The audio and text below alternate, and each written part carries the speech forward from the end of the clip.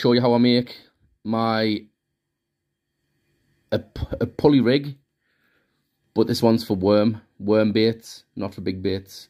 Um, breakaway lead, 7 ounce. 2 Mustad Uptide Vikings. I like these because um, if you get them in a snag and this, you straighten them in a snag, you can bend them back and they'll stay rigid, they'll stay strong. Some um, shock beads. I've not used these before. I've used something similar, but these are the only things I could find in the shop. I don't like running beads. I'd rather have something that hides your knot and your swivel.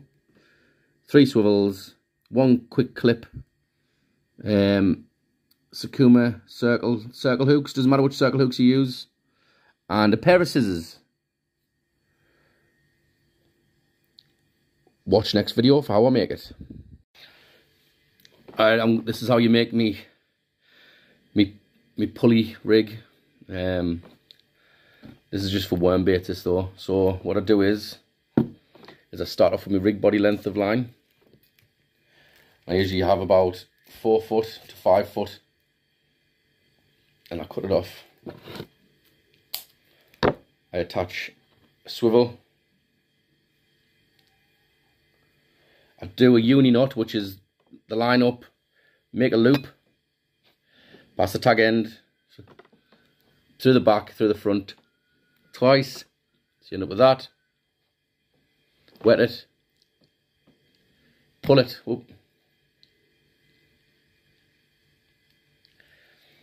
I like these knots. Uni knot. Very, very tidy, very strong. You only have to do a few turn, a couple of turns up with them. Then I'll put one of these sleeves and you want it so the the bulbous end is going to be where the running the running swivel is going to be hitting so basically pull it down to your swivel and what do I do? I push the sleeve over the over the knot,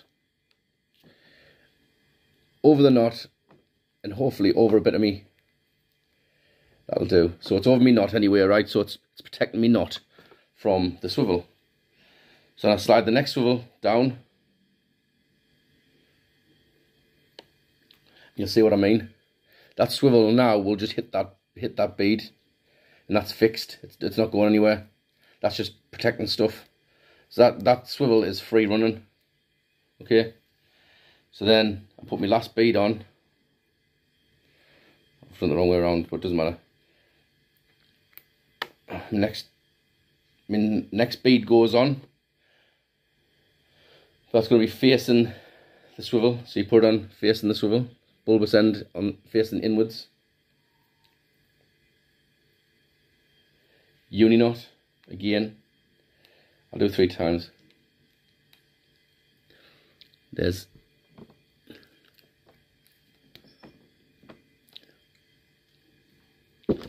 cut it, pull that bead over your knot, like so.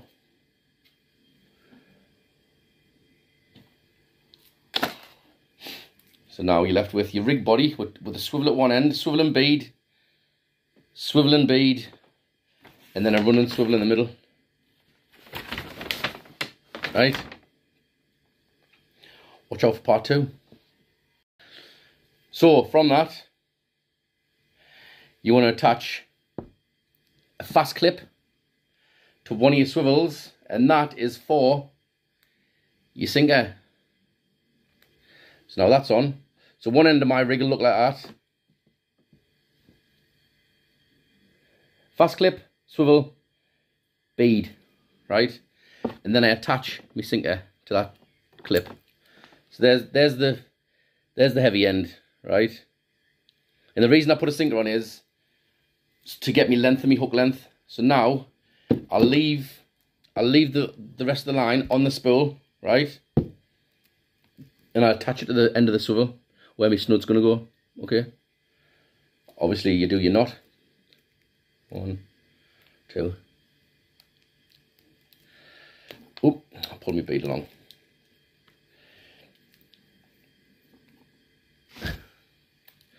So there's me snood attached to me swivel. So now what I do is I grab me running swivel, me running swivel, right? I let, oh, I let me go down till it hits the floor. And then now what I'm going to do is, with the line still attached to the spool, run the line down the length of the rig body, right? Until I get just above, till I get just above the, the bead, and then I stop. That's the length of my, the length of my snood. You only want, I know it's a pulley rig, but you only want a little bit of giving before, when you're casting. Like, you don't want to be pulling your, your hook miles down your line to hook, to clip up. Just as long as it's pulled the line through the swivel a bit, you're perfectly fine. So now, just matter of putting your hooks on, and then I'll show you it clipped up. Right, so watch the next video. So, circle hook goes on first. Oh, this camera's horrible. Um, circle hook, 2 I do prefer the eyes being turned back on these circle hooks. They sit in your line better, but I went to the tackle shop and this is all the, all I had, so I'm not going to be, I'm not going to uh, complain. That's all I had. I still catch it. I just, I just like how the presentation sits. 2 Mustad Viking. Obviously onto your line, double uni again, one, not double uni, a uni with a double, double turn.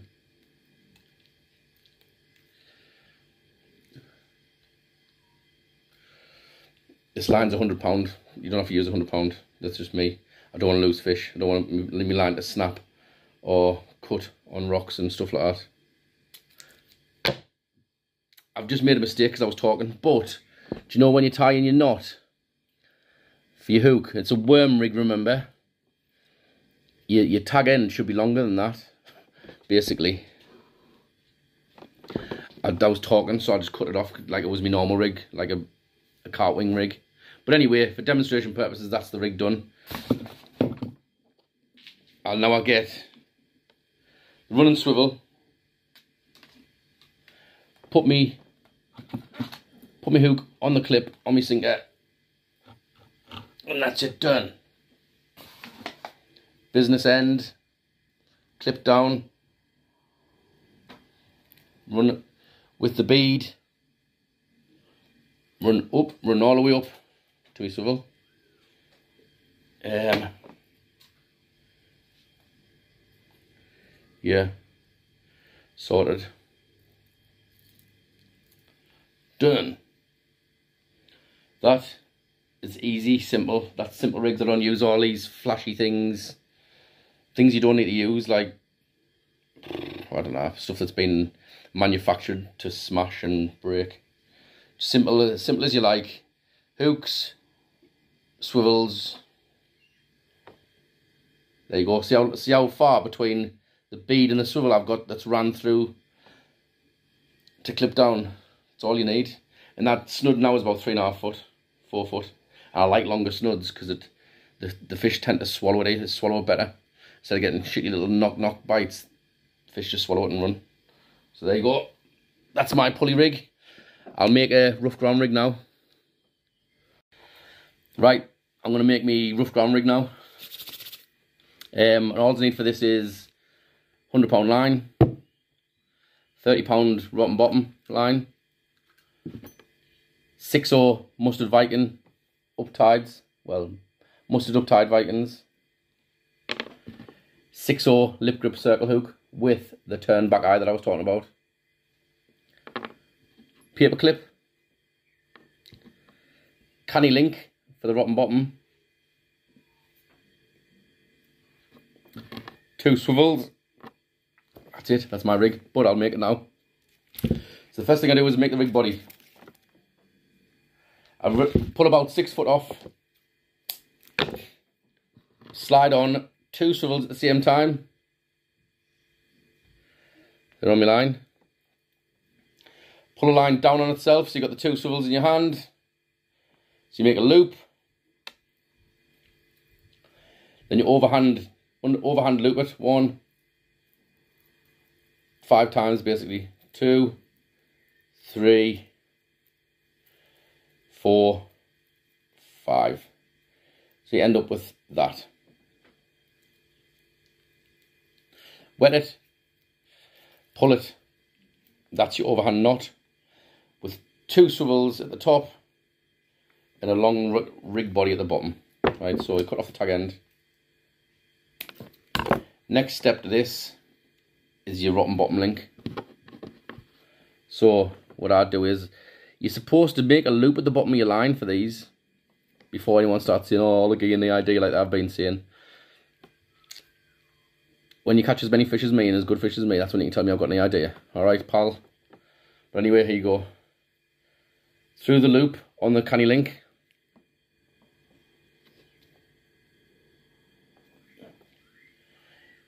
Oh, make a loop. That's me parrot whistling.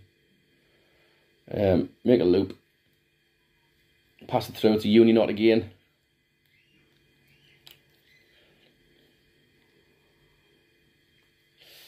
I'll be going fishing tonight as well, so I might have some more videos for you. So yeah, that's the canny link on. Then I get thirty pound, some thirty pound uh, rotten bottom line. Motherfuckers. Again, same loop. Put it to the same loop. Just tied on. So this is my rig body done once this is tied.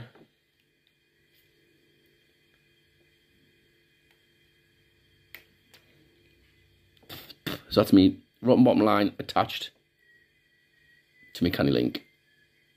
Right.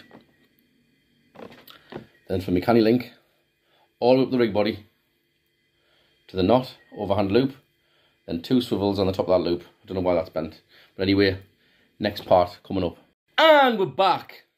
So, one of them loops, one of them swivels, sorry, is going to be the main line.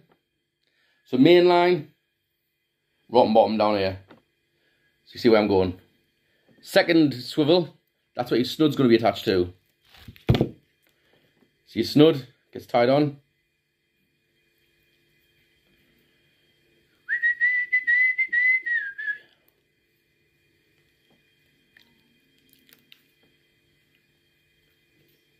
There's my snood. And again, I do this, right? This is how I clip down this rig. So I hold the swivel up there, right? And then I run the snood and the rig body together until I stop just above the canny link. And that's the length, length of my trace, my snood. So then I put my circle hook on. Then my big hook, that gets tied on with a uni knot again.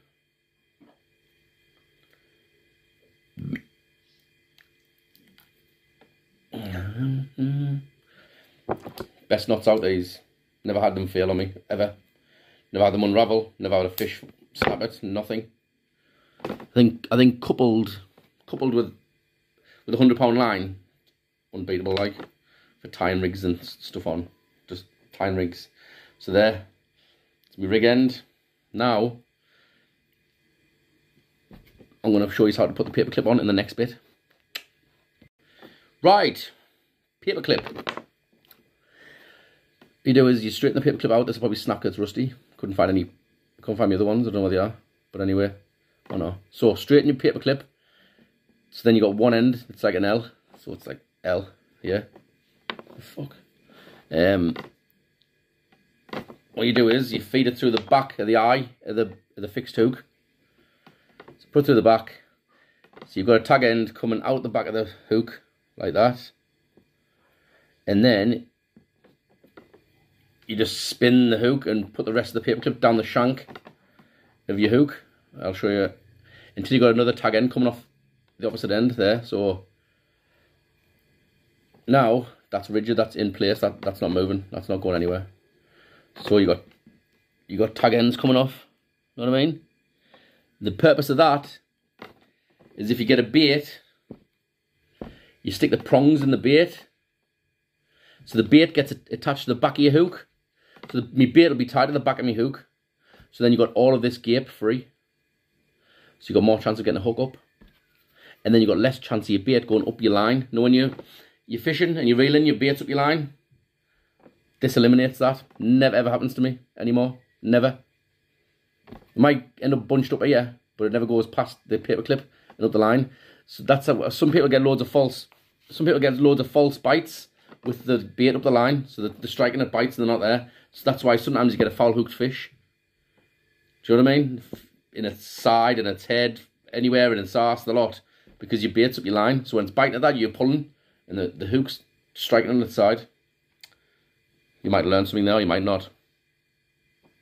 So that's my rough ground rig. Anyway, I'll show you how, it's, how it clips down.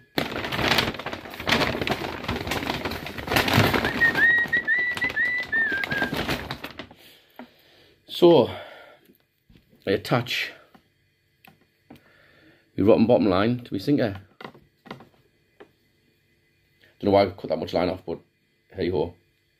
Hey ho, Campo.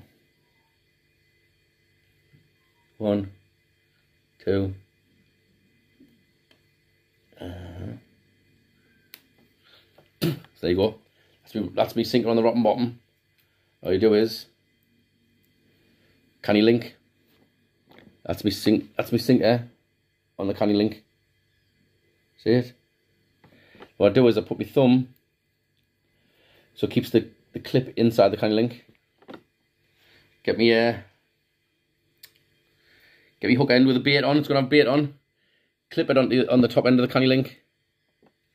So now that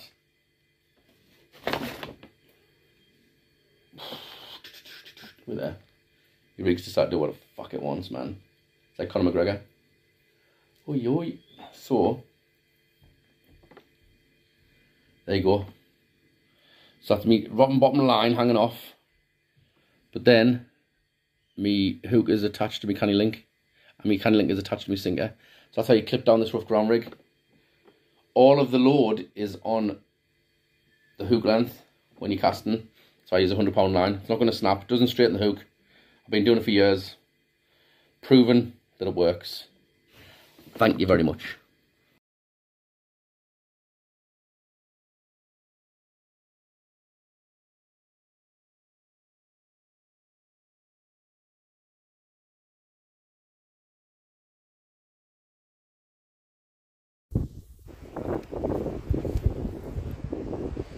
Just hit, hit my water.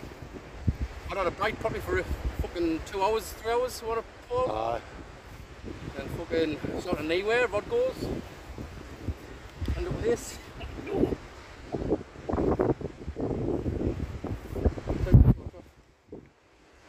Just come off about three pound or something. Not bad fish, first fish. Hopefully a few more on the ebb. This one.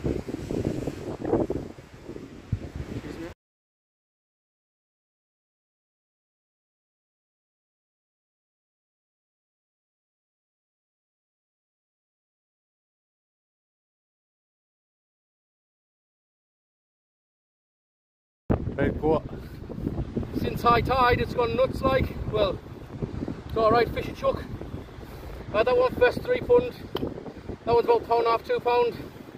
Then this absolute red lump. About five pound, but it's short and fat. Nice heavy fish. Mint. Come on, lads. Bye.